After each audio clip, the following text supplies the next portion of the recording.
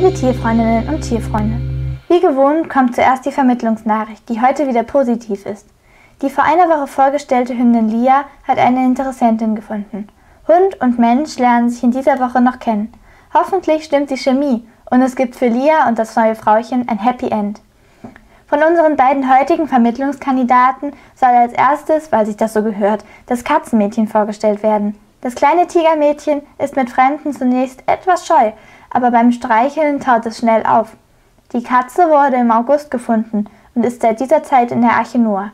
Schon länger lebt sie dort mit einem schwarzen Katerchen, das hier gleich mit vorgestellt wird. Unser Katerchen wurde Ende Juli gefunden. Beide Kandidaten sind Maikätzchen. Der kleine Moor ist im Gegensatz zu seiner Freundin sehr aufgeschlossen und kennt keine Angst. Sofort fand er die Kamera und den Menschen dahinter interessant. Menschenbezogen sind beide und schmusen gern.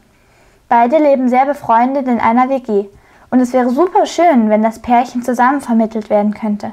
Das wäre das Beste, meint Tierheimleiterin Katrin Mattes. Zwei Katzen sind pflegeleichter als eine, denn sie kümmern sich umeinander und spielen miteinander. Gut wäre für die Katzen eine ländliche Gegend, wo sie an Freigang gewöhnt werden könnten. Als Stadtkatze käme der kleine Moor nicht zurecht. Er ist zu anhänglich und würde jedermann begleiten. Als reine Wohnungskatze würde es gehen, aber ein Revier zu durchstreifen ist doch das Größte für zwei Katzenfreunde. Beide Katzen wurden in der Archinoa kastriert und sorgen nicht mehr für ungewollten Katzennachwuchs. Wenn jetzt das Wetter ungemütlich und kalt wird, gibt es nichts Gemütlicheres, als eine schlafende Katze oder auch zwei auf dem Sofa zu haben. Bedingung ist es aber nicht, dass die zwei zusammenbleiben, wenn wenigstens eines der Samtpfötchen eine Chance bekommt.